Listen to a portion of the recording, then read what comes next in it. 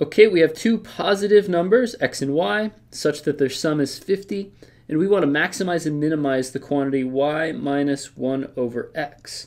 Now, this function that we're trying to maximize and minimize has two variables, and we can't deal with that just yet. Uh, in a Calculus 1 class, we can only maximize and minimize functions of one variable. So what we'll do is we can solve this equation here for, say, y, and we can plug that value for y into this function right here, and maybe we can give that function a name, I'll call it f, and that now is what we're trying to maximize and minimize. Which of course means taking a first derivative and looking for critical points. To take that first derivative, I thought of 1 over x as x to the negative first power, and then when I took its derivative, it got a negative 1 out in front, and the power became a negative 2, which I then wrote like this. So as far as critical points are concerned, this first derivative is undefined when x equals 0, so we're going to have to look at that point.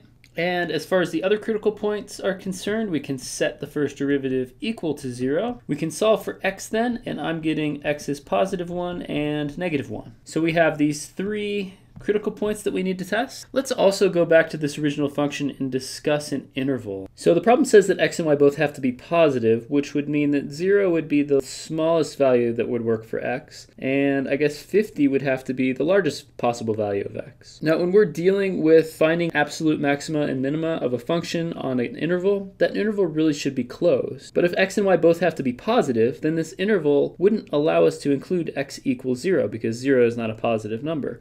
The interval would also not allow us to include x equals 50 because that would make y equals 0. So if we want this interval to be a closed interval, we're going to have to make a quick edit to this problem. And instead of using the word positive, we should use the word non-negative. Maybe that's a technical distinction there, but a non-negative x and y value allows our x and y values to be 0. So that closes our interval off. And I think this is probably the intention of the problem. And now that we've completed our interval, we should point out that x equals negative 1 doesn't fall on that interval. So we're simply going to test the critical point 0, 1, and also our endpoints by plugging those x values into our function and seeing what happens. So if we try to plug x equals 0 into this function here, we're going to get a 0 in the denominator, so that doesn't work. If we plug x equals 1 into our function, we're going to get 50 minus 1 minus 1, which is 48. And if we plug our x value of 50 into this function, we're going to get 50 minus 50 minus 1 over 50, which is negative 1 over 50. What I'm now concerned about is